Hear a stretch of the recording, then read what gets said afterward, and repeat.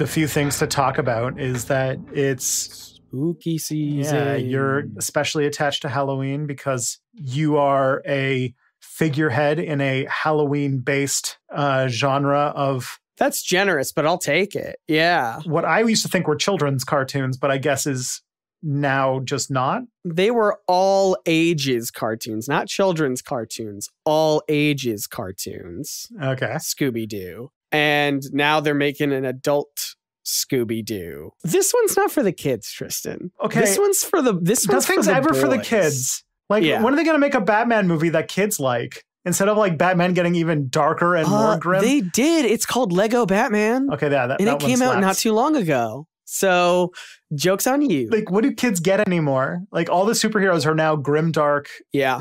Well, they're offsetting it too, right? So Scooby Doo used to be all ages, I feel. And now they're like, let's take it from everyone.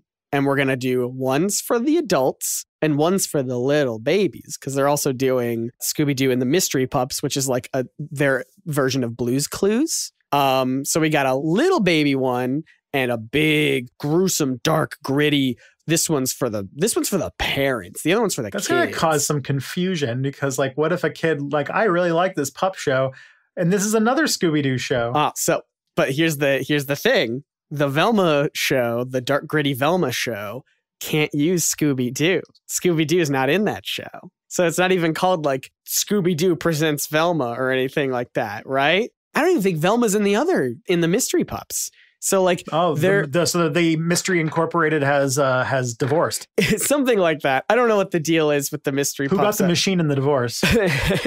That's the big question. Everyone always is like, who owns the mystery machine? And I'm like, it's complicated, okay? It depends on the continuity that you're asking. Listen, it's a shaggin' wagon Yeah. that is um that is painted in psychedelic colors. That is Shaggy's goddamn car. It's sometimes it is Shaggy's car, right? it is Shaggy's car to the extent that he probably he sleeps in it. He's probably the one who sleeps in it. Yes. I mean, in the in the live action Scooby Doo movies, when the gang does break up, Shaggy and Scooby get the mystery machine. Other interpretations say it's Fred's car. Other other interpretations say that it's Velma's parents' car that they all painted or whatever. So like it depends. It's stop asking me the car. Who cares Listen, about we all knew the guy who sold you weed out of his Volkswagen bus, uh huh. who had a dog that was far too big for that van. Yes. I, we all knew this person in college, so like I think it's very obviously Shaggy's car. Look, maybe one day I'll make a video. Maybe one day, very soon, I'll make a video that's just called like "Who owns the mystery machine?" And I'm just gonna put it to bed. And I'm just like, stop asking me about the car. It's the least interesting part of the Scooby Doo franchise. Stop asking me about the car. The thing is, if there's anything I know about Scooby Doo, which is not much because I haven't watched a whole lot of it, Uh, but uh, most of the time, the service they provide, Yeah. there should be a point where it's like it turns out that they're just being hired by like insurance companies to find Oh, I people who are trying to put in fake claims. Oh, that's good. What if the biggest sort of like conspiracy with Mystery Inc. is they're not being hired to find false claims. Rather, they are helping set up the false claims so that they get paid for it. And then they put the, all the people that, you know, they hire, they'll get some money on the side. I mean, they still go to jail, I guess. Are you going to prison? Just the criminals still go to jail, so it's not a sweet deal for them. But otherwise, Mystery Incorporated, it's like, all right, you're gonna be a ghost. We're gonna catch you. It's gonna be great for us. It's gonna be less great for you, but we'll make. I don't know. We got It's an extremely, extremely funny way to set up uh, doing like massive insurance fraud. Yeah, it's all. Yeah, that's pretty good. So that's all to say. Um, this episode's coming out for the Halloween episode. Yes. Ooh, are you dressing up at all for Halloween? Yes, we have a family costume Oh, uh, that we are doing. We are all. Oh dear God! You don't have to say it. Everyone who thought I was this super cool suave guy is going to be very disappointed. We all got Starfleet uniforms. Okay. Not to give anything away, but my son's name is a bit of a Star Trek joke. Oh, I don't even know if I knew that. I'll, I'll tell you after the show. Okay. but uh, it's a bit of a Star Trek reference. And so we were like, you know, we, we, we did the uniforms. And so we got him like a little Captain Kirk 1960s Yeah. uniform. Okay. And my wife got like the early 1990s, like uh, Voyager uniform. oh, nice. And I got for myself uh, the one that I've always been wanting the late 1990s Dominion War First Contact gray shouldered uniforms. Oh, now that's I'm- a good one. I don't know if you know any of these. No, I know. I know some of these. I know First Okay. Contact. First Contact's great movie. So you know the the the gray shoulder uh, uniforms. Absolutely, Always loved those. Oh, they're always wanted great. One. They're amazing. Do you know the Voyager one? No, I've not seen Voyager. Have you seen uh, early seasons Deep Space Nine? No, I'm sorry. I've only seen Next Generation and a little bit of the original series. Okay, so you might have missed that one. I did. But- Either way, that's that's what we're doing. Uh, we're not going anywhere. Uh, we're just going to hand out candy, okay. which uh, will be interesting because we also live on sort of a dead end street. And last year was during COVID, so we like bought a bunch of candy and like six kids showed up. But Mm. hopefully this year will be better. hopefully this year's better. Yeah. I wonder if all the young kids are into Star Trek. Maybe you're you'll get some attention that way. Be like, we've got candy and Star Trek outfits and uniforms. also, I have a feeling that by the time the kids actually go out to do trick or treating, the baby's going to be in sleep. Oh, that's also true. Yeah, he goes to bed at like seven o'clock. So it's like, yeah. That's fair. I have a I've got a, a costume that I'm doing as well. Emily and I do couples costumes. Last year we were Superman and Lois Lane. That was very fun. This year, speaking of what was your uh, Lois Lane costume like? It was so I had my I had like a you know like a little uh, overcoat sort of thing, like a little. I was no, I wasn't Lois Lane. You should have done that. That would have been That would have been good. No, I this year we are doing. Speaking of Scooby Doo, we're doing a pretty good, and I'm not going to spoil it. You'll have to follow me on. I'm plugging early. You'll have to follow me on the internet on my Twitter and Instagram to see it. But we're gonna do. There's a little teaser for you. We're gonna do a mystery solving dog and his best pal. That's gonna be our couple's costume. So you're gonna have to go Oh, see. wow, you're finally going to do Scrappy Doo and Fred? Scrappy and Fred. Those are the two characters that we're going to do. And you have to guess who's going to be who. Me and Emily. Who's going to be Scrappy? Who's going to be Fred? And whichever way you guess, I promise you're wrong. So figure that one out. Uh, um, aliens? Um, oh, I have heard something about aliens. yeah, here I can segue uh, from Scooby Doo to aliens. Boy, speaking of uh, Scooby Doo related stuff, they had a movie about the, called The Alien Invaders, which had aliens in it. And this is a show about aliens. This podcast we're going to do. This is a podcast. Hi, everyone. Hi, how's it going? This is a oh, podcast. oh, yeah, we're doing a podcast. Uh, yeah, This yeah. is a podcast called It's Probably Not Aliens, where uh, we look into ancient astronaut theory and the History Channel show Ancient Aliens. And we look at their silly little uh, pseudo archaeology, pseudo science, pseudo history, and we debunk it while explaining the real world history behind people and places and things that are really cool and we think you should know more about.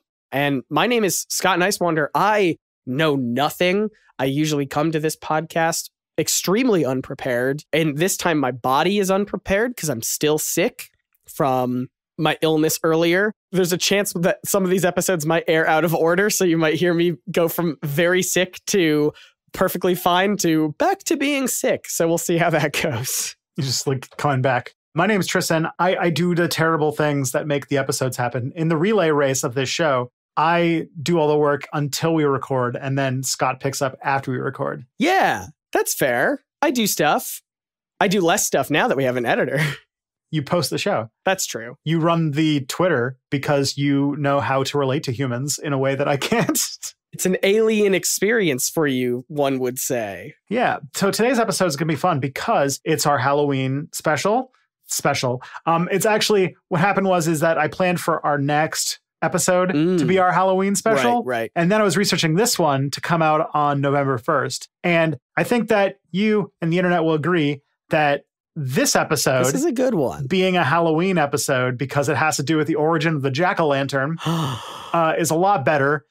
And also for the next one, which is the day before the Mexican Day of the Dead, is an episode on the Grim Reaper, oh, which feels like it's also a better Mm, fit. So mm, mm, mm. I was gonna say get ready for sp- but like by the time you're listening to it, you're in it. You're in the spooky mood in the spooky season. I'm excited. I wish I was Mhm. you right now, listener. We're learning about the jack o' lantern today. yes. How does that fit in with aliens? What's an alien theory about jack o' lantern? Are do aliens have pumpkin heads? Well, this actually has um, the ancient aliens part has literally nothing to do with it. This is like uh, one of those ones where I heard about five seconds of ancient aliens uh, where they talked about this, where it was Uh-huh. like this thing is an alien. Yeah. Um, and then I go and do a ton of research to be like, oh, it's definitely not an alien, but it's a whole bunch of other cool stuff. Okay.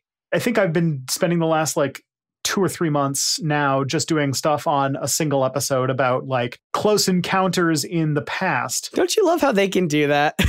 Don't you love how they can say something for five seconds of one of their episodes and they'll just be like, anyway, moving on. And then it will latch into your brain and you'll be like, no, I have to, no, we have to talk about this for a whole Yeah. hour. Luckily, uh, I can say that with the current list of episodes that I have put down, I have finished watching season one of Ancient Aliens. We did it. once I do the like uh, dozen or so episodes, I think I still have. Actually, I bet the listeners will find this slightly amusing. Let me see. Let me open up my It's Probably Not Aliens Notion page because we're both big Notion We're heads. big notion heads. That's the first time anyone's described my head as big, by the way.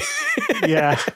I have uh, 13 episodes, 14 if you include the one after this one. And once all those are done, we are done with season one Oh of my Ancient gosh. Aliens. So we'll be like in the 60s or 70s by that point. But yeah, what an achievement. Well, the good news is, I mean, how many seasons could Ancient Aliens have? good question. We'll find out whenever it gets canceled. it's still going. But yeah, so today we're going to talk about this one point where they were talking, they were just listing off a bunch of people who saw UFOs. One, I'm still, you know, researching to try and see if I can find a real juicy bit to chew on to talk about. Sure. But this one uh, goes to a guy by the name of John Winthrop. John Winthrop. And that's a name that, you know, would go over a lot of people's heads. You know, this is John Winthrop, whatever. But then your boy here, Tristan, Uh who has master's degrees in American history Here he goes. and American cultural studies Uh-huh. and did three years of a PhD in American history. Sure. And I'm like, oh, John Winthrop, really? John Winthrop is a person who saw this. Interesting. Interesting. So yeah, John Winthrop is like, he's a Puritan. Okay. This is how old we're going. So, not a recent character in history. No, no, no. This is how old we're going. This is a Puritan who was one of the founders of the quote, Massachusetts Bay Colony. so Oh, put some buckles on your head there. I sure will. So yeah, John Winthrop is who we're talking about today, reporting on an event that happened in 1639. So that was uh yeah, he was he's an older person.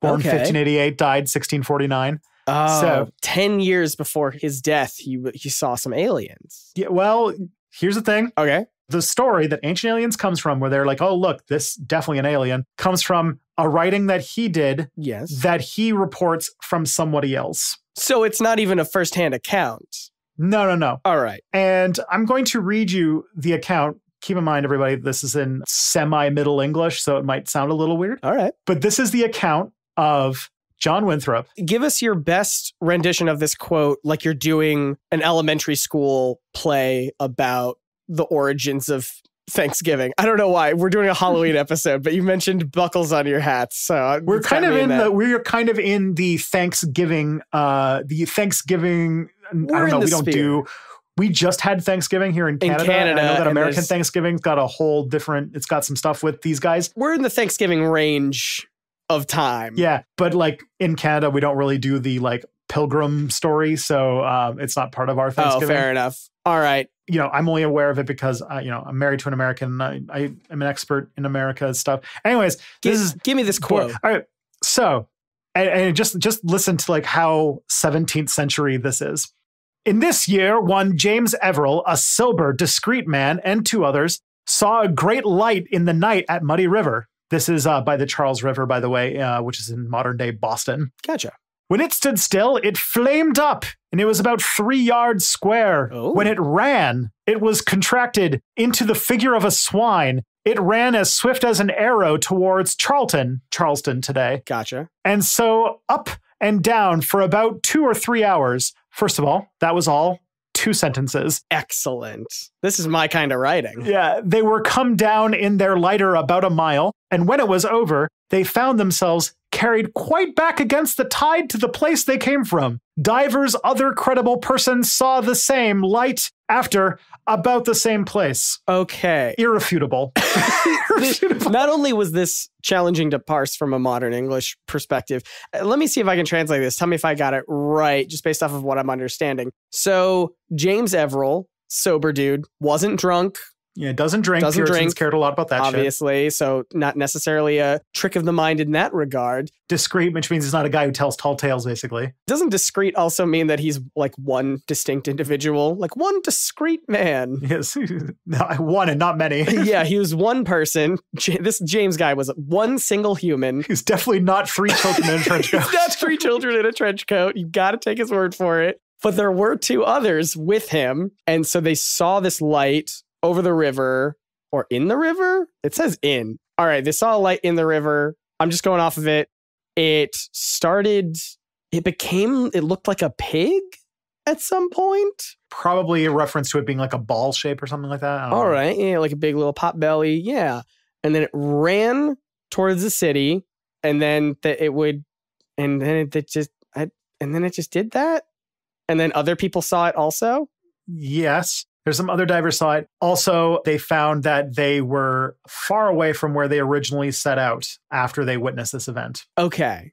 Unfamiliar territory. So this gets latched on by the UFO people because a lot of close encounter stories involve missing time and stuff like that. So they're like, oh, this is a missing time oh. because he mentioned that they found themselves in a different place later. Oh.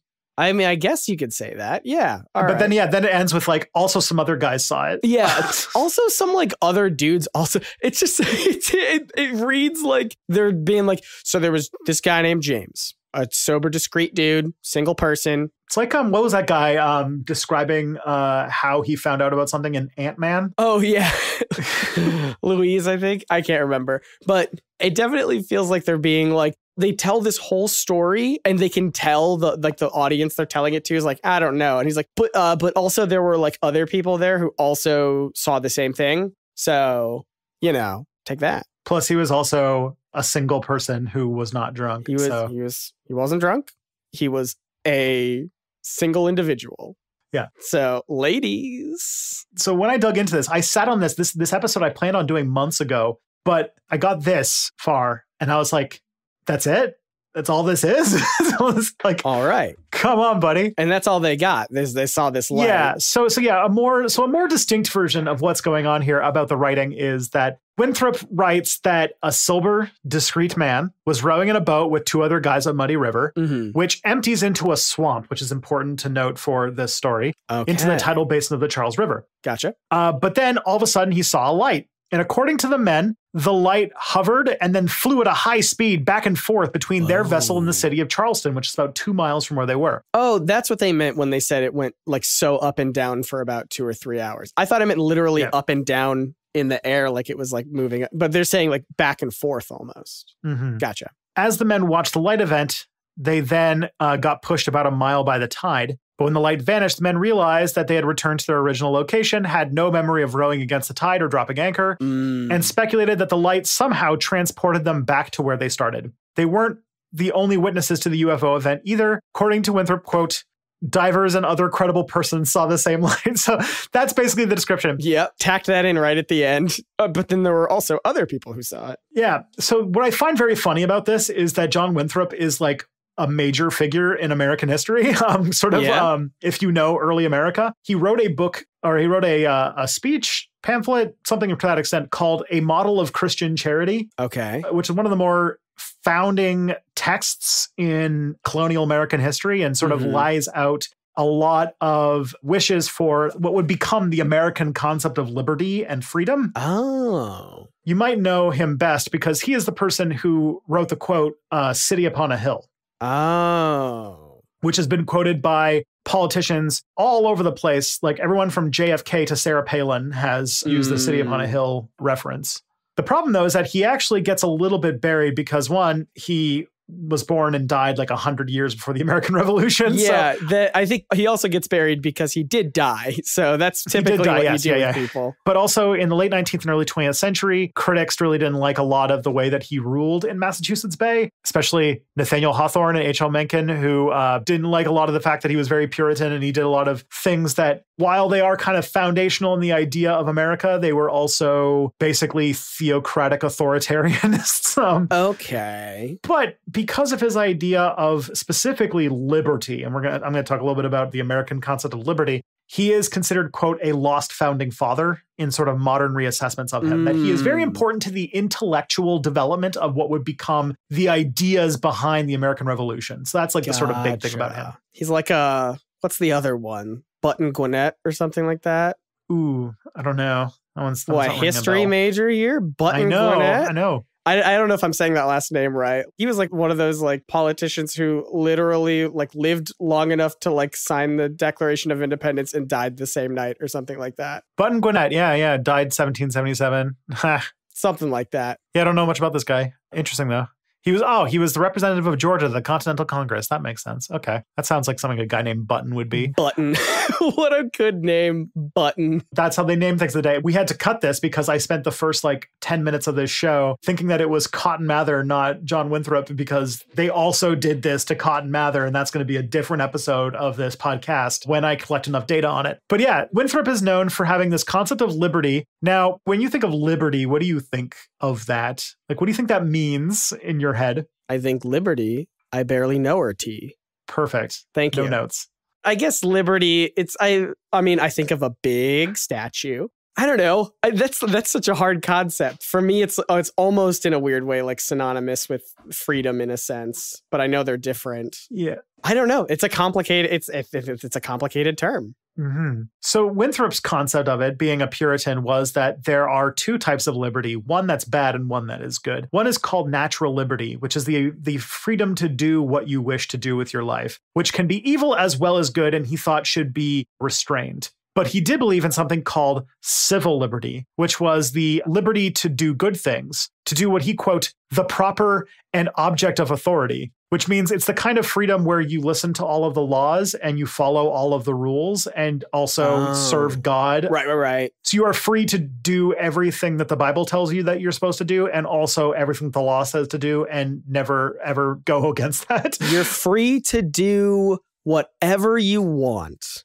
as long as it's in the Bible and as long as the laws say so. And then, but other than that, you're free to do whatever you want. No, this is interesting though, because the way that he's trying to conceive of it, because this was a long time ago. So our ideas of demo- democracy was sort of a joke at this point, right? Sure. But he's basically conceiving of the idea that the government is not supposed to exist to serve like the interests of a monarch or something like that, but it's supposed to be selfless and work for the people to promote justice. And instead, so like he was trying to be like the people should be yeah. subservient to the government, but the government also should not be like just the property of one guy. Right. Like supposed to be reciprocal. For the people, by the people. Yeah, kind of a novel concept in the 1600s, though.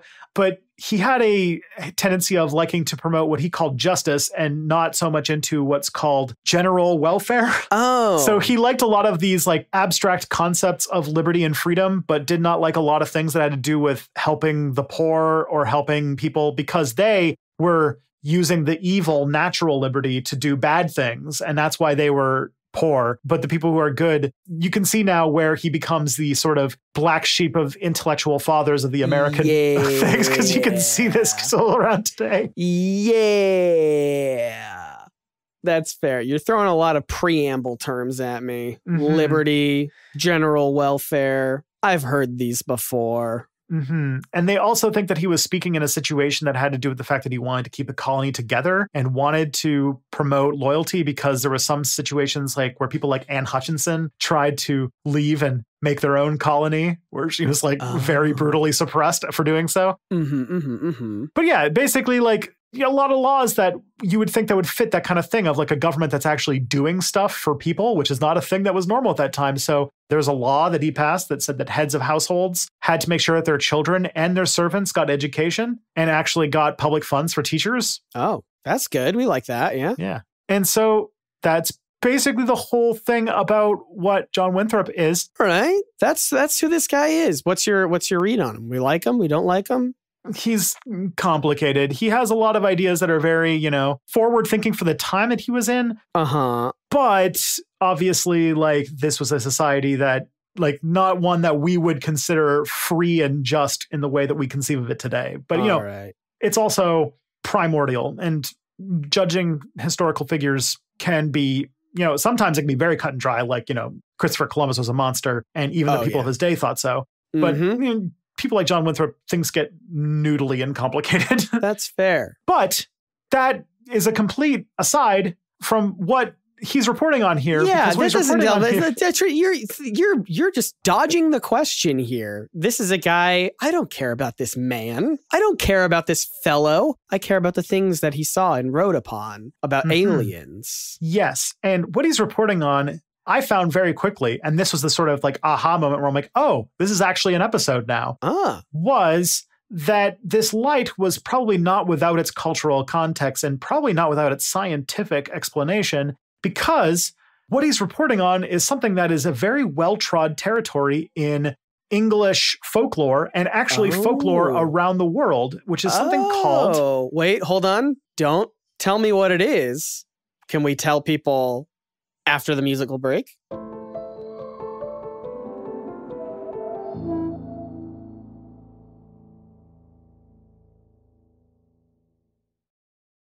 Ooh, a little cliffhanger Okay, here. yeah. All right. What's this mysterious light that they saw? So this is something that shows up a lot. They're all English or British at least. Uh-huh. And so they would be very well versed in this kind of folklore. But what they were witnessing was something called an ignis fatuus, or as it was known in other circles, a will o' the wisp, Will o' the Wisp. Which is one of the more fun words to say. It is fun to say. I'll give you that. I've heard of these. I've heard of these. Yeah. I mean, these have popped up in, all, like you said, all sorts of myths and folklore. There's like a monster version of it in D and D that you can play as a DM. yes, yes. I, I, I made sure to mention that that it is a low level undead creature that is extremely deadly to first level adventurers, as I unfortunately deadly. learned uh, when I was running a first level adventure a while back. I believe one of the big bads from the show So Weird. You ever watch So Weird? I have not. Was it a Disney Channel show? It was like a horror, a kids horror thing, but it was like genuinely messed up. I have a feeling that either Canada didn't have Disney Channel or Disney Channel hit its peak a few years after my time. So I never really got into Disney Channel stuff. That was like my first uh, interaction with uh, Will o' the Wisp.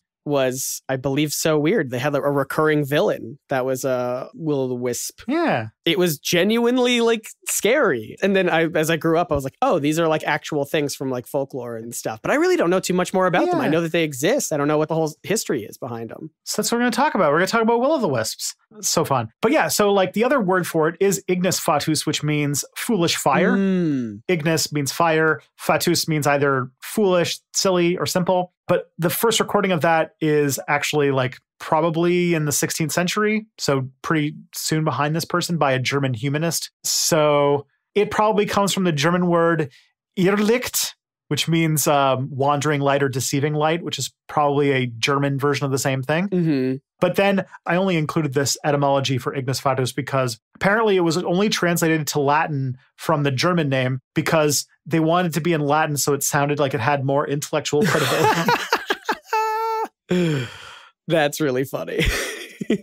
but in English, these lights have gone by lots of names over the years, including Friar's Lanterns, oh, Hinky Punks, okay. Hobby Lanterns, which is a reference to a hob, which is a sort of European house spirit, Okay. you know, like a hobgoblin. Oh, sure. or a leprechaun kind of fits this idea as well. right. Like hobs are sort of little, or like the elves that fix your shoes, sort of like little spirits that Oh. live in your house. Is that kind where the term like hobby comes from? Is like a thing. Ooh, that would be a good question. Yeah. I'm not going to look it up. You can do that on your own time. But another name that these things go by is a jack o' lantern. Okay. Now, this was news to me. So, jack o' lanterns and will o' the wisps are the same thing. Yeah. And I'll get into, I'll explain more about that a little bit later. Please do. So what these things are, what the story kind of shows over and over again is that they're these sort of ghostly lights that show up to night travelers, especially, Yes. this is important to notice, uh, when you are close to either bogs, marshes, or, Or swamps. Yes. Okay. I'm recalling that information from earlier. Yeah. Yes. It looks like a little fire or a ball of light. And very often they are confused for UFOs. Mm. Or UAPs, as we've learned. The only thing that makes them different is that will o' the wisps tend to be closer to the ground, while Okay. UFOs tend to be in the sky. That's the only major difference. Gotcha. Gotcha. But other than that, they're the same thing. hmm So, a will o' the wisp is a thing that shows up a lot in English folklore, but also a lot of European folklore. hmm They look like a little flickering lamp that, uh, if you approach it, is supposed to go away and move. You know, Oh, yeah. and that if you see one, it's trying to draw you It's from a safe path and into a dangerous place. Another place where you might remember this is if anyone has read a book called The Two Towers, or if Mm. you uh, watch the movie, there are some fires in the dead marshes that were trying to, you know, trick people to go into the Oh. waters to see the yeah. Wow, I never put that together. Yeah. Yeah, well, I mean, who knows more about English folklore than Yeah. Tolkien that's himself. true. That's true. That's fair. But basically, these, uh, yeah, according to a lot of European folklore, these lights are supposed to be the spirits of the dead or they're fairies or some other supernatural creature that is trying to trick travelers to basically go off their path and go to their deaths. Yeah. And they're used in like a lot of folk tales. And there's a lot of uh, different folk tales that have to do with the origin of will o' the wisps that come from places like Ireland, Scotland, Wales, England, even Appalachia and Newfoundland. All over the place. Yeah, sometimes they go by the name Will o' the Wisp, sometimes they go by the name of Jack o' Lantern. It really depends upon the culture that you're coming from. hmm There's sort of two stories that have to do with the origin of them, of those two specific names. The Will of the Wisp name comes from a story about a guy named Will, who was this evil blacksmith who died and went to heaven, but St. Peter decided to give him a second chance instead of going to hell. Oh. But when he goes back, he has such a bad life that they basically doom him to wander the earth forever and Oh. that the devil gives him a single burning coal to warm himself and he uses it to lure travelers into the marshes To what end?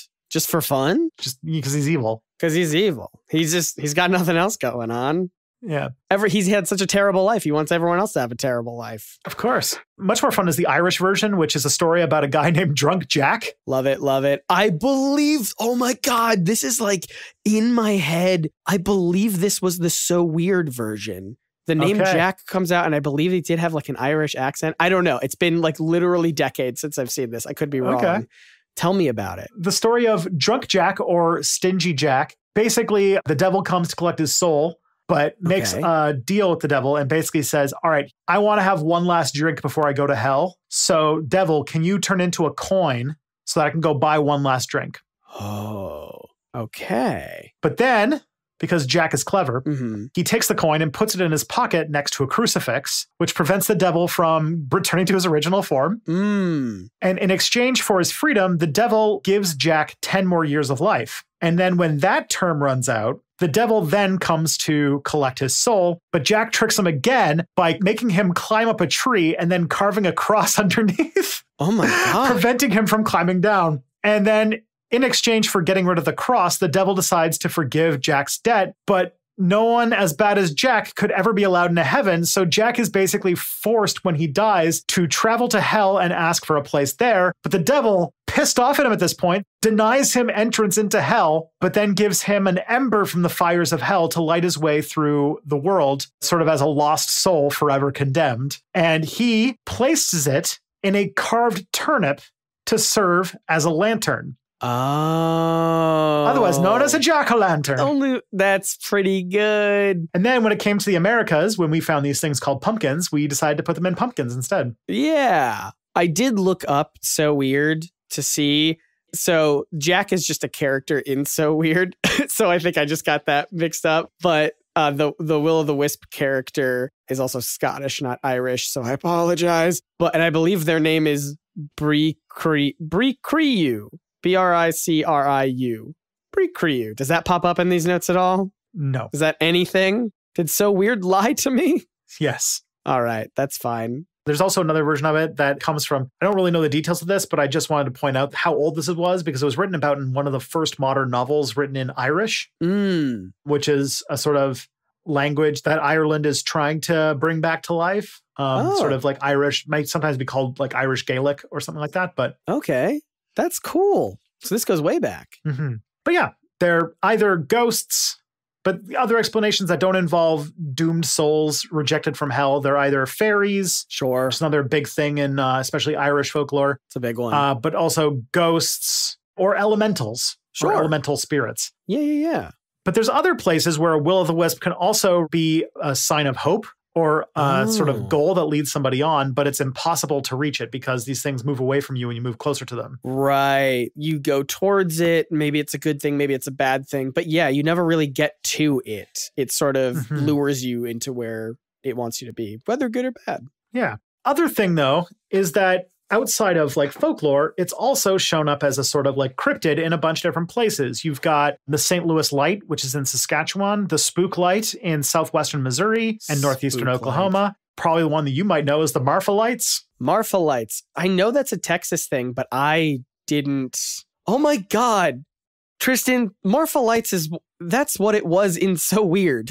it's literally Ah, okay. That's what okay. I've That got is the- so weird. I've got the so weird wiki popped up I'm in a tab right now.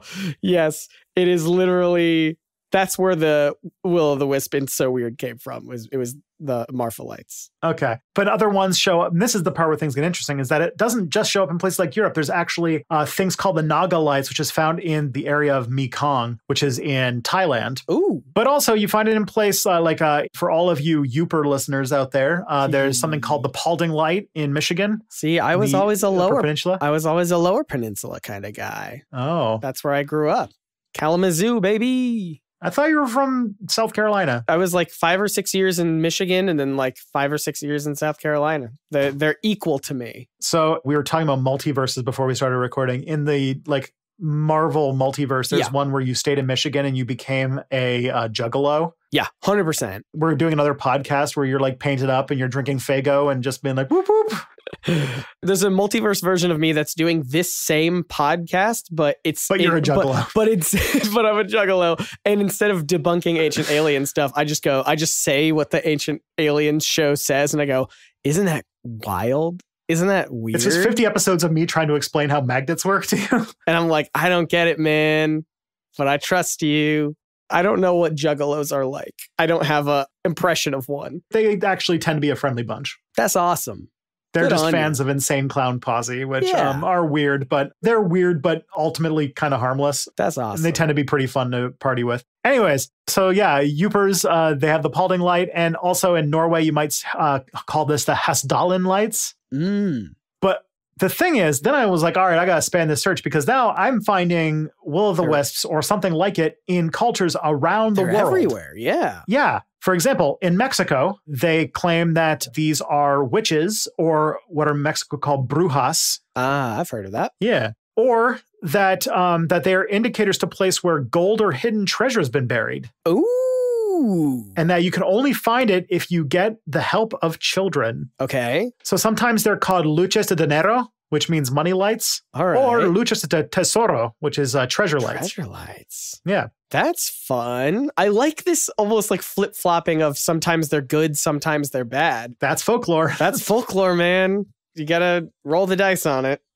In America, the swampy area of Massachusetts, as we were talking about here, known as the Bridgewater Triangle, has lots of orbs. Okay. For example, this incident that they were talking about in the show. Uh-huh, uh-huh, uh-huh. Uh, but also in places like Louisiana, you might find something called uh, fifele or fufele, Filet. which says that the fufele is a soul sent back from the dead to do God's penance, Wow. but instead it attacks people out of a sort of vengeance. oh. But most of the time, it just does harmless, mischievous things. Okay. But also, it sometimes drinks the blood of children. This is a very confused legend. This one is this one's sort of all over the place, isn't it? but basically, the soul of a child that died Yeah. before baptism is another explanation for it. But yeah, yeah, it just this is a Oh. Cajun little story. Sometimes it's mischievous, sometimes it's evil. You know, a ghost. It's a ghost. I mean, they're just Yeah. like people. Sometimes they're good, sometimes they're bad. hmm Uh, Brazil They have something called the boitata All right. or boitata. I've never been able to pronounce anything in Portuguese well, so Gotcha. um, we're just gonna. Run. But basically, that's their version of the will of the wisp. Uh, it goes by a bunch of other regional names, but um, the name comes from Old Tupi and Okay. means fiery serpent. oh. Uh, and they believe that it is this snake. This actually shows up in a lot of them. So this is a snake that has fiery eyes. Oh. it's blind during the day, but at night it can see everything. gotcha. So the lights are just the snake's eyes. Yes. Cool. So basically, the legend is that the boitata is a giant snake, usually an anaconda, hmm that left its cave after some sort of flood and in the dark went through fields preying on animals and corpses, eating its favorite things. And then it collected light from the eaten eyes and gave boitata a fiery Oh. gaze. It's not a dragon, but a giant No. snake. And in its native language, it's called the boa or mboi or, or mboa. And I'm like, you know, snake, uh, because I know that the boa and boa constrictor, I think, comes from the same language. Oh, that makes sense. Yeah. I like the idea with someone with a fiery or like a creature with a fiery gaze. It's very. Do you ever watch Jackie Chan Adventures cartoon? No.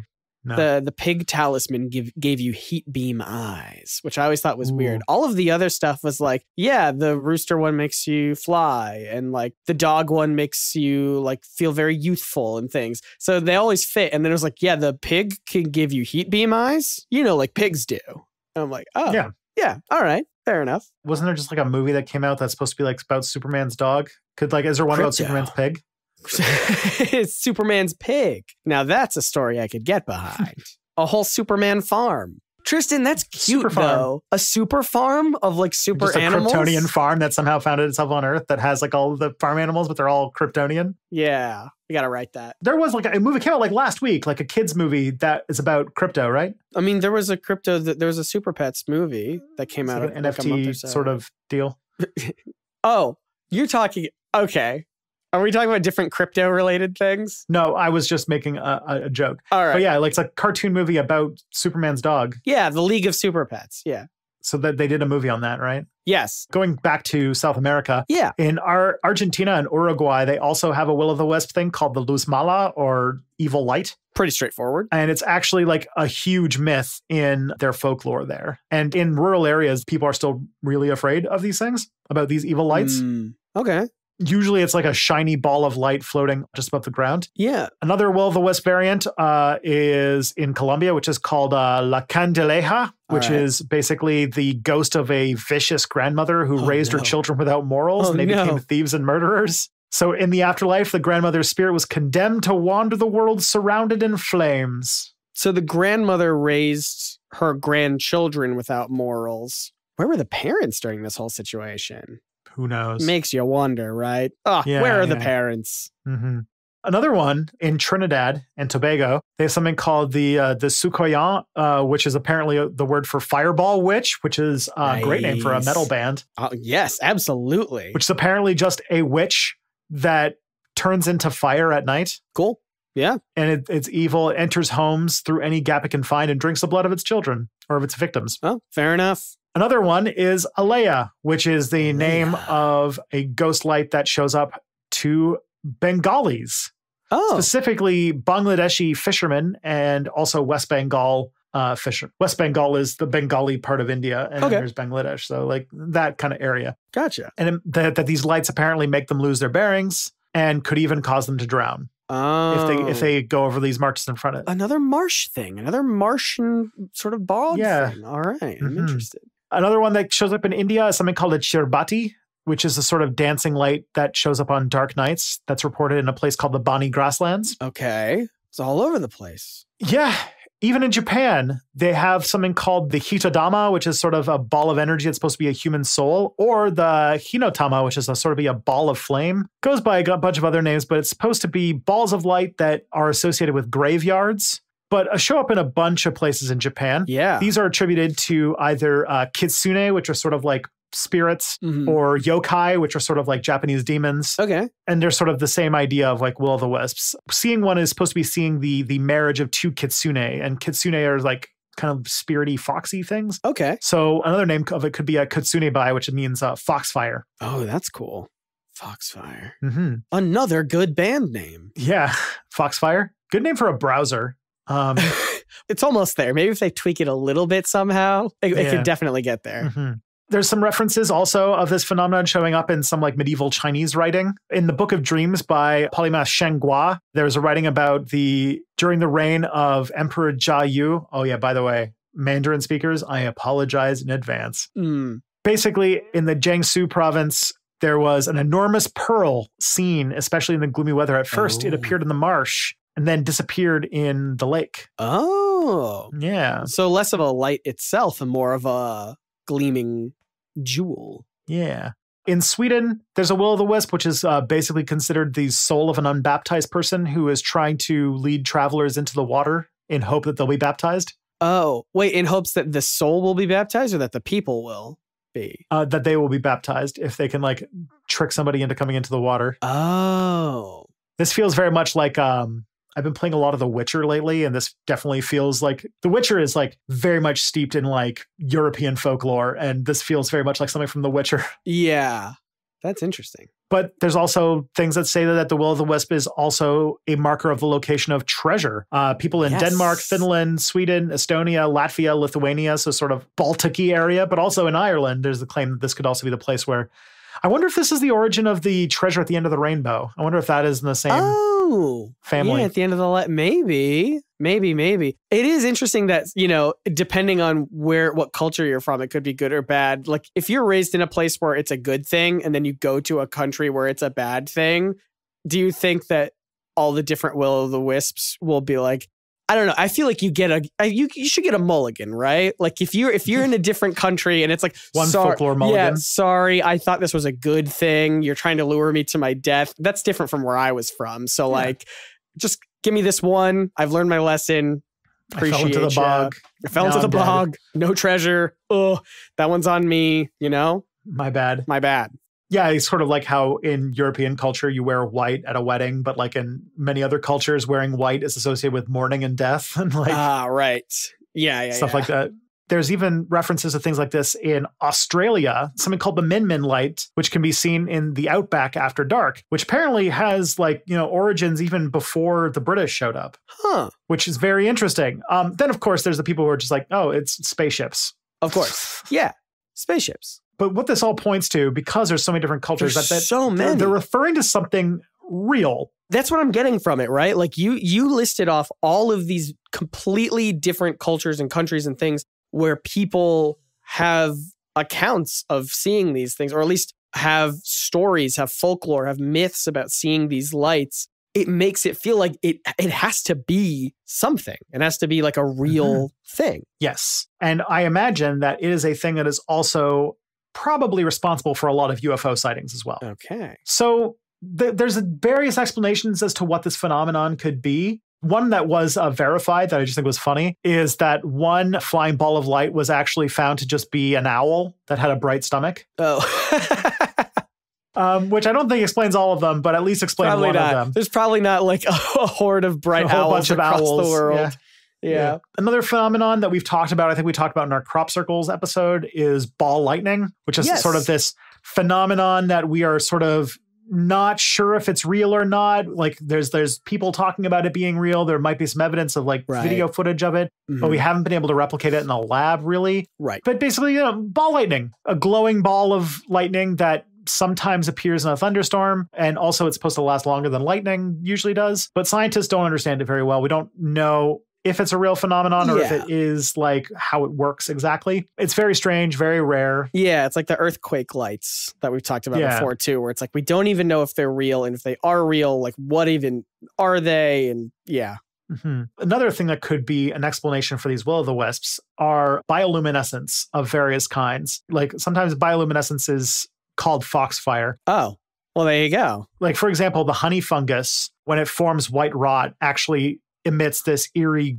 glow that could be mistaken for Oh. will o' the wisps also things like fairy lights which is you know another kind of phenomenon like this could be something like fireflies Fireflies, lightning bugs. yeah i get fireflies in my backyard during the summer it is amazing We get them around here, but you normally have to go into the mountains. They're not really much in the city.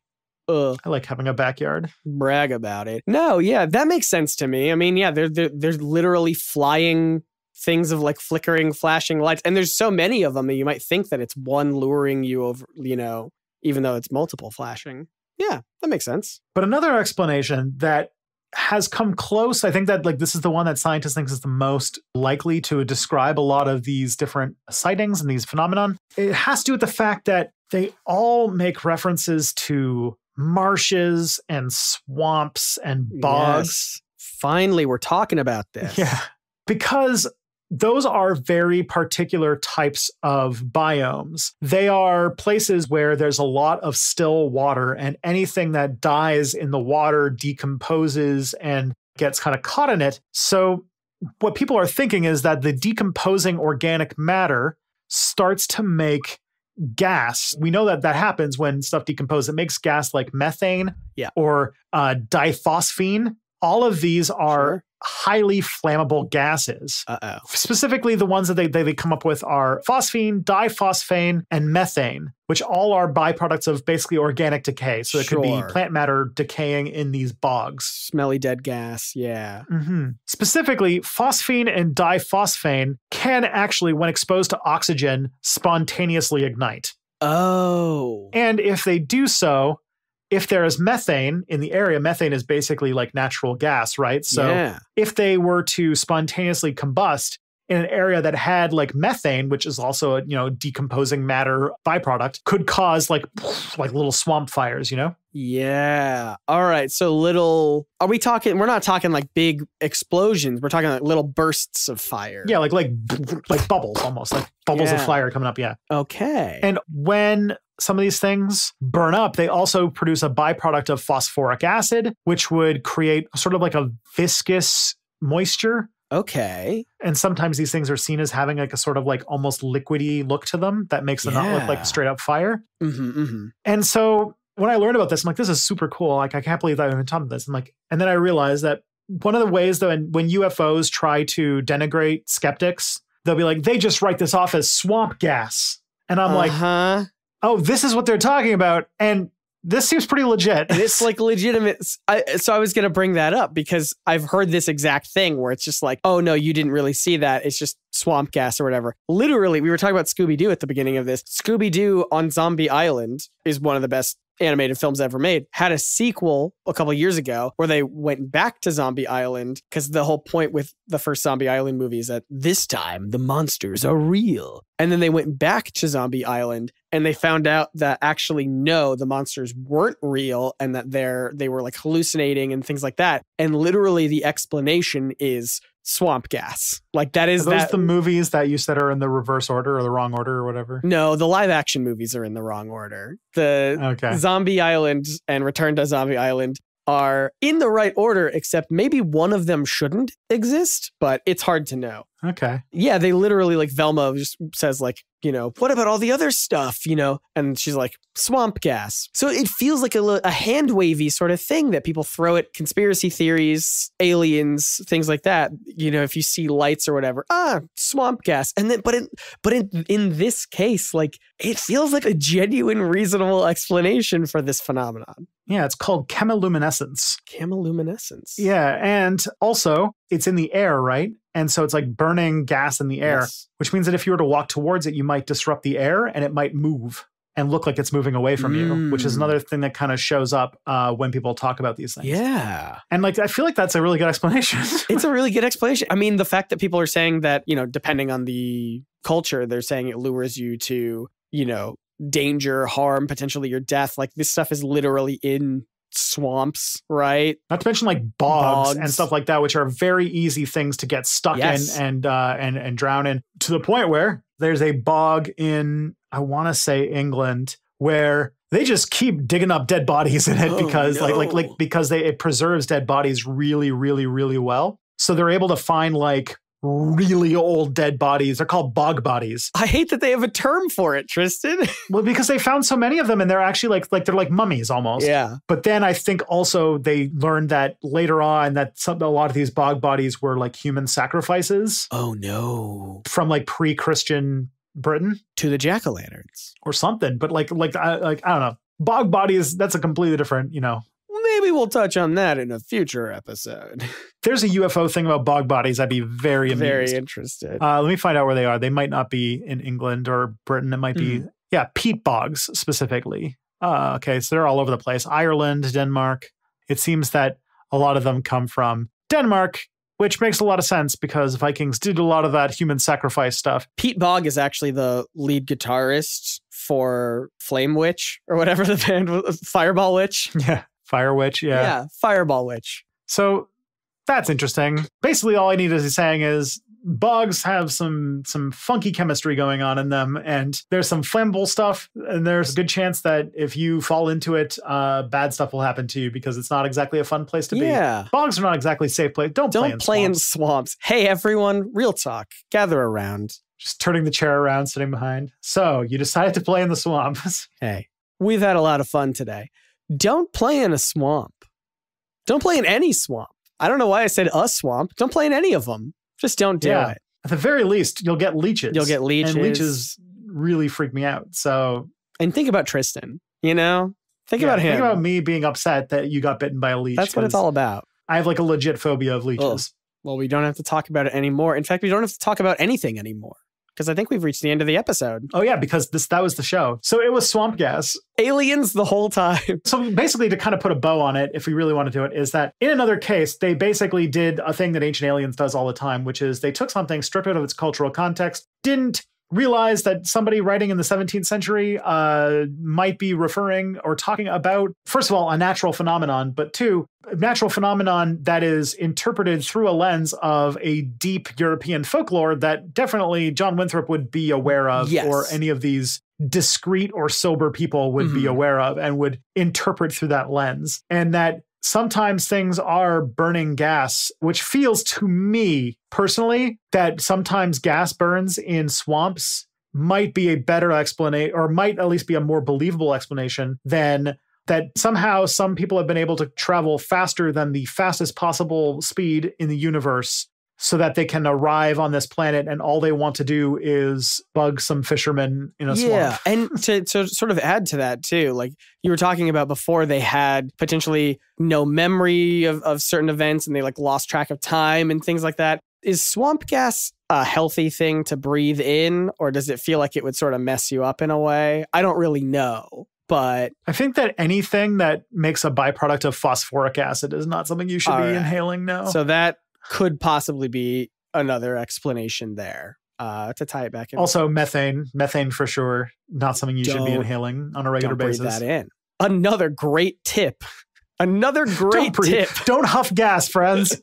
don't huff gas and don't play in swamps. You're, we're learning a lot today. And the sad part is it's over now. But the, it's not that Yeah. sad because we're going to have another episode next week. And we've got so many more. If, if you're just listening for the first time, go back, listen to our back catalog. we we talk about so much fun stuff. We just tap some black mana now, so now you can uh, go and check out our other ones. We have one on a mountain, so you could tap that for mountain mana. Yep. We haven't done anything about forests or oceans or uh, what's the other one? Plains. So Yeah. Well, hold on now because well, we Bermuda Triangle. There I you was go. There's to your say blue. we did a Ber- Bermuda So- Triangle. I've talked about plateaus. Is that something? I don't know what black, red, blue is, but there you go. Magic the Gathering There you go. You've gotten your reference. Uh, thank you so much for listening. Make sure to follow this podcast on Twitter at Probs Not Aliens for more updates about everything, especially as we're we're into that spooky. I mean, are we in it or are we out of it now with this episode? I don't know. We're in the Halloween spirit.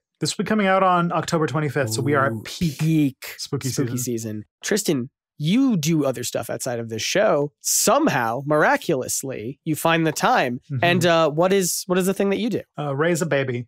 And then, but you Oh, also do the- other, more, much more important. Other than that, you do a much more important thing, which is called. Hey, if you want something spooky, step back. Comments a lot on the very spooky state of the world today, Mm. and specifically the history that got us to this very spooky state. I'm making a video on Russia as we are probably closer than we've ever been in my life to nuclear war uh, over Russia. So Ooh, fun, good the times. spookiest war. Anyone who knows anything about me and my feelings about nuclear war, you could imagine that I am in a great emotional state these days. Fantastic. Definitely not looking up any very rural Airbnbs at all. but Scott, uh huh. you are, if anything, more invested in Spooktober. Yes, it's the spooky holiday season, which means for me it's Scoobtober, uh, a thing that I thought I invented, but it turns out that Boomerang, the platform for classic cartoons, also is promoting. So the, we're going to get real litigious about it. I'm going to do a very violent lawsuit upon them to get the rights to Scoobtober back. But in the meantime, you can follow me at NerdSync. That's my YouTube channel, N E R D S Y N C, where I am in the middle of making as many Scooby Doo related videos as I possibly can. There's going to be some fun ones. I'm planning, uh, we'll see if I can get to do this. I want to make and try every single disgusting sandwich in the Scooby Doo franchise. That includes oh My things God. like Okay, anchovies so- and chocolate sauce and things like that. So, So that means you're gonna have to call the hospital when you Yes. try to eat like a 12 layer sand, like like you know 100%. one of them. yeah, it's not going to be fun, but I'm going to do it. I'm going to try anyway. And then we've also That's got just like other stuff about the art of Scooby Doo. If you want to learn more about the history and, and the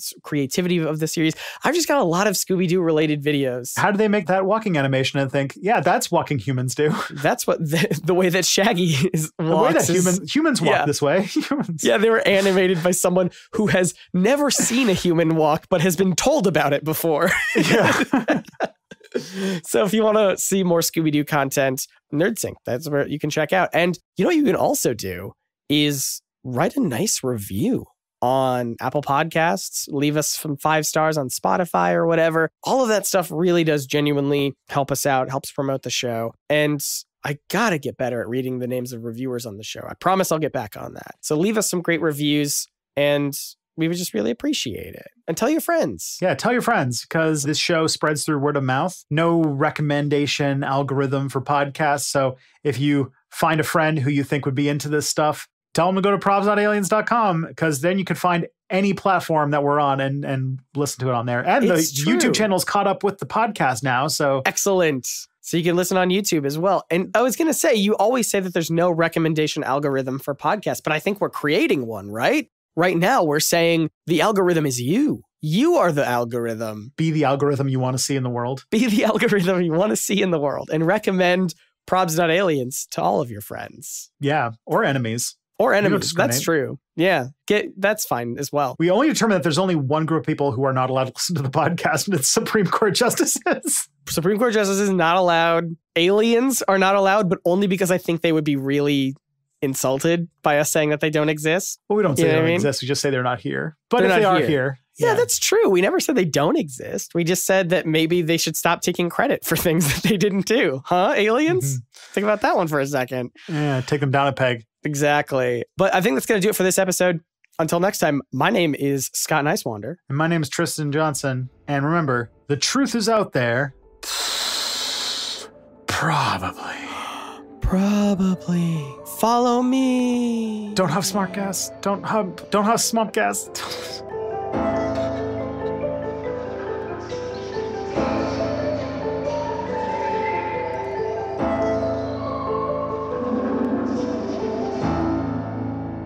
I think said smart gas. I did. oh, You can huff smart gas. That's fine. smart gas is great, actually. Highly recommend. Command. Command. Command. Command. Command. Command.